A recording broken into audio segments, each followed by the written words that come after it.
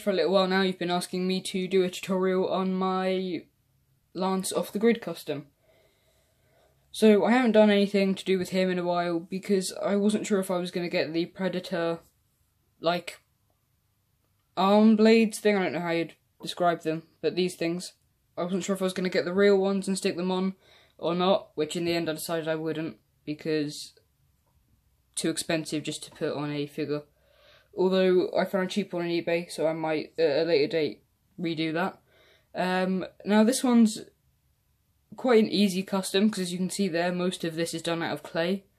Um, the actual neck piece that obviously this piece, as you can tell, is actual plastic was sent to me by Moonshine in the box that I got. So thanks to him, I have a more realistic looking one. However, you can get pretty much the same look by making one out of clay, as that's what my original one was. And if you want to see an image of that, head over to my Instagram, because I uploaded a photo somewhere on there. I'll try and put it up in the slideshow here.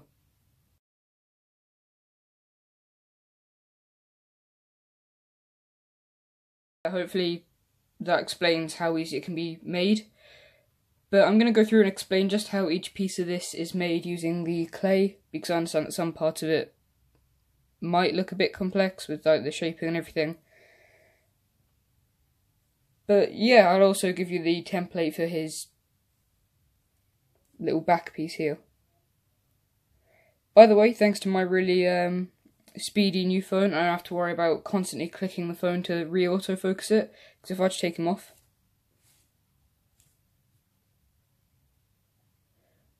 the refocus is so fast, so I don't have to worry about any refocusing issues now. So ignore all the random cogs that I've just put out on the desk, it's just because I'm working on some things. And I had all the cogs in the pot of clay that I use, because I needed some cogs for obviously the new characters of Off the Grid, however, for some reason they didn't send the actual ones I needed from the company. They decided they'd send all the big ones rather than the smaller ones, so that's fine. And rather than sending me enough to do all the, um, like, you know, like the hat of Regalius has this weird um, cog on it. Yeah, that's the most accurate thing I could find to it. Can it? Okay. And as you can see, it's not perfect, so yeah. Um, they only sent one of those in the box. So that kind of sucks, I guess. And a chemical reaction happened with those cogs in here and it turns some of the clay hard. So that's really weird. But anyway, I'll show you how to make the bit on his stomach first. Okay, so this shape is just like a kind of flat square that's got a little um, wedge to it at the very end. And to get this little indent that you can't really see on camera there, there you go, that indent. I just used my screwdriver, like the tip of the screwdriver thing. Flathead screwdriver and like that. That's literally all that piece is. And then obviously I painted it with a gunmetal grey or silver, whatever you want to call it. And I'll explain how to make, I won't bother explaining how to make the knee pads because those are quite basic to be honest with you. They're just round blobs and then a thin wire going around the outside. Um, but I'll explain how to make his predator type thing on his left to you, but his right arm. So now I started off with just doing a basic square. Um, it's not to scale because this isn't actually for a um, another custom. But I started off with just a basic rectangle like this, and the very end of it here, you just pinch down. Then you reform into the square and you just keep going until you're happy with the length and size of it. And now you do want a bit of excess on this side, you want a little bit more of this bit than you really need because you should cut that off with the scissors after to get a really straight edge. And now for the blades, they are just bits that I added in after. I put indents in the square using my um, screwdriver and then made the blades and when once they were both dried I separately pushed them together and glued them in place. So those are quite easy to do. You just get your ordinary bit of like long piece of clay like that. You flatten it out. And you put a little hook at the end of it. So that's a really simple one to do. Um, now I will explain how to make this piece, even though it's not really required. By the way, if you want the official one, it's from a Zevo's character. I don't know which one exactly. If I find out, I'll put it in the comment section, although I probably won't be able to find out because I've never seen it before. I just know it had like the same peg as the Zevo's, so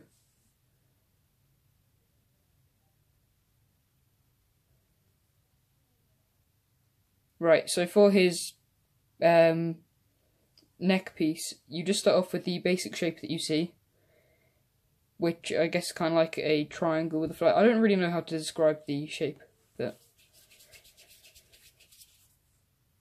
So as always, you roll it out first, and then flatten it down. Obviously, it's much bigger than it should be because it's just a little quick one.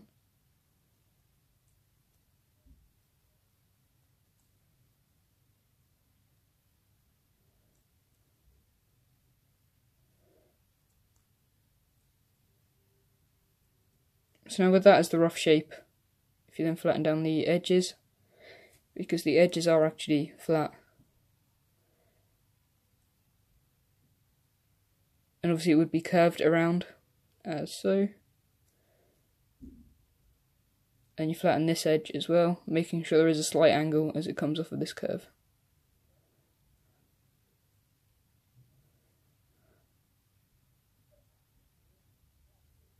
There. Really bad quick one. Uh, but,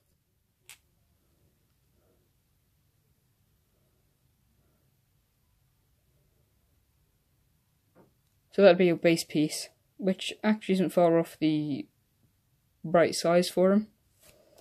And then once you've got that, obviously you've got this weird kind of outline that goes around it.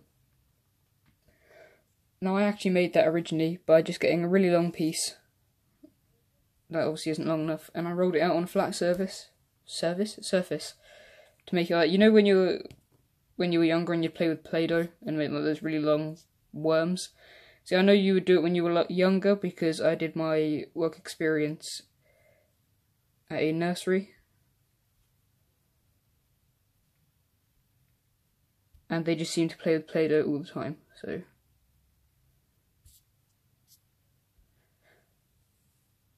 So you start off just by making one of these and you flatten it out into a little, I don't know what you'd call it. But you just completely flatten it out.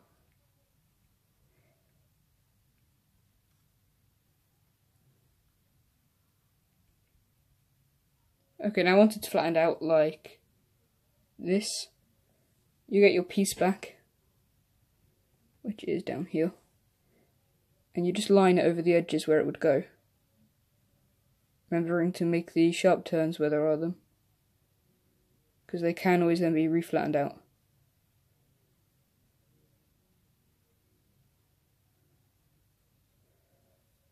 That's just the quick way of doing one of those. Obviously, you'd be more precise with it and not just randomly stick it where it looks just good enough, like I have. So that's that piece. And now the most complicated piece I personally think on this is his I guess it's the equivalent to Striker's bracer, but I think this is probably the most difficult piece to do. Because it just takes a lot of time and getting sizing and everything right. And by the way, I just want to say you can see the texturing on this. Um, you just go in with the corner of your screwdriver and just jab it in the sides. And I would explain this weird belt thing that goes around the side. But I think that's quite easy to understand. Turn back around. Why won't you turn back? There we go. So now this piece can be quite difficult, but if you just break it into the shapes that it actually is, like for instance this, like, not trapezium, why is it? Oh, no, it would be a trapezium, never mind. Um, it's a tall trapezium, if you put it down that way. There you go. Um, if you just put break them into shapes like that one, and you make it piece by piece, so you have your tall trapezoid, trapezium. There you go. Trapezium. Trapezium. There you go. Like that. And you make these side pieces, which are just like long, stretched out ovals. And now those are quite simple to make, because obviously they're just random little stretch pieces. And you would make them like this. And they are technically speaking just the brackets that hold it, the weird ridges that you can see in place. Now you would make them quite thick, as you can see there, if you are making it to hold something, whereas if you broke it into little pieces, um, and once it was dry glued it all together, it would hold, but I put it all into one piece and then let it dry as one. Because I had, when I first made this, I was just getting used to this kind of clay. So that's why he's not the best custom I've made, but I'm still quite happy with him. Okay, so once you've then got this, which is pretty much the same. It's a little bit off, but it's pretty much the same. Um, you actually just make five of those pieces. Is it five? Yeah, it is five. Okay. And they are just small little archways, like Nope, that's not an archway, hang on. Like this. And you put them in one by one, like that. Obviously, in a much neater way. So that's how you'd make that one. And now for this little Wait, no, keep your legs stuck down. There we go. Now this little gold piece here, which if you saw, I'm pretty sure was the flamethrower. Um, once again, really easy piece to make, just looks overcomplicated because it's small. Now that's made by just getting a little piece like this. Can I? There and rolling out the end until it makes this weird curvable edge, this thing, till you're able to make a hook on the end of it. Then using another piece like the other side, you get another one of those. You stick it on the lower so it kind of comes down lower than the other piece does. Like this and then with this little piece I usually lock it behind there you go and then once that's dry obviously you'd paint that gold. And you've, oh there.